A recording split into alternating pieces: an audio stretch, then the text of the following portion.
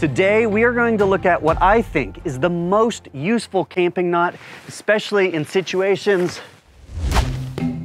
like this. When you're setting up a hammock, all those lines coming off the tarp, those are taut lines. The taut line knot, which we can see here, is a friction hitch. This is the knot I've been tying almost my entire life, starting out in Boy Scouts.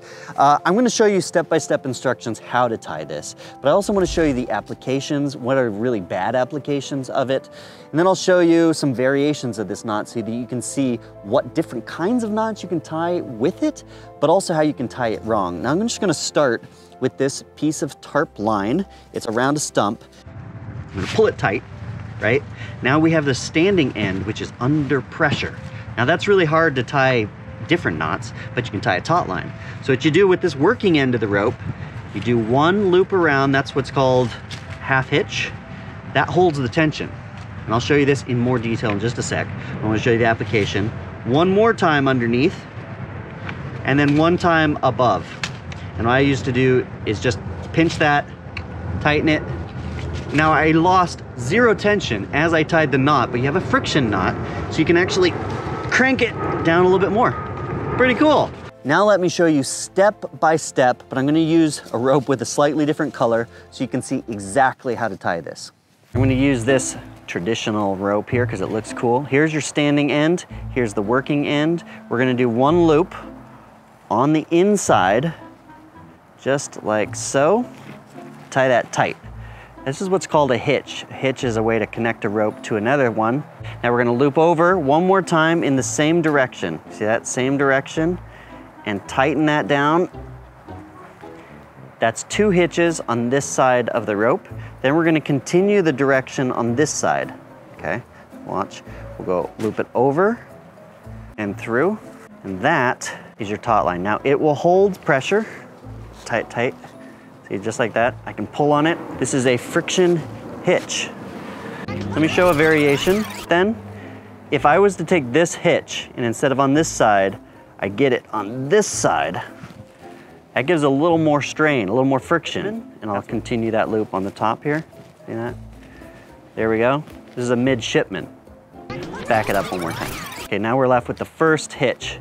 Now I just loop it over one time and, and through. That is simply a clove hitch on the rope. So it's, it's what they call two half hitches. Now this is not great because that, that whole rope, it can slip a little bit. It's too little friction. That's why you put the extra hitch in. Now, when you wouldn't use this knot is in situations where the rope is a it's a big, thick, modern rope, like a climbing rope or something, because it's, it's very slick, it's very strong, but watch what happens when I try to tie the taut line. So I'm gonna loop it over that first time, get that hitch in it, loop it over a second time, okay? And it's just, it's harder to tie than the thin line. Tie a third one. It, it, the rope really wants to be stiff and it, it just doesn't, doesn't tie very well. So like I can pull on that and it slips. So that's, it's not a great, it just, it, it doesn't bind well on itself and I can't get a very clean knot because you just can't, can't loop enough times around. And it's just, this is where you would use other types of climbing type knots. I wanted to point that out. This is not a good situation to use a taut line.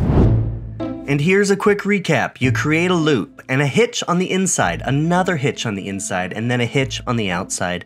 That is an adjustable taut line. All right, thanks everybody for watching that little short knot video. It's something I do every Saturday called Skills Saturday on Stone Age Man. We're doing different types of knots, different times of, uh, types of cutting tools, different things you would use out here in the wild because I'm trying to get people to reconnect with nature.